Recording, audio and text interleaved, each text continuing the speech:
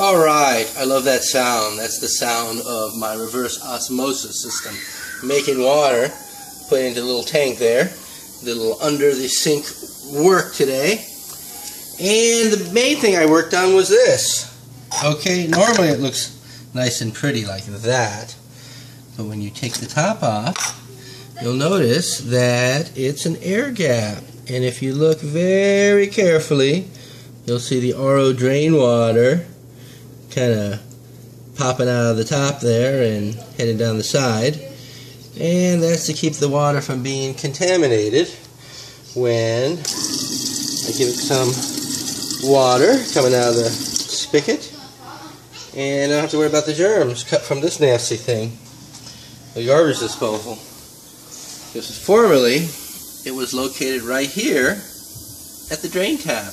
And that is kind of a dumb place to put it because there's all sorts of nasty bacteria there. So I moved it elsewhere, and now we're all happy.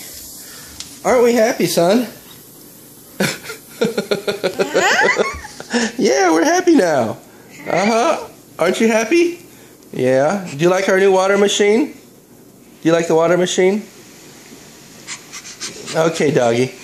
You're going to have to drink out of the doggy bowl. Bye.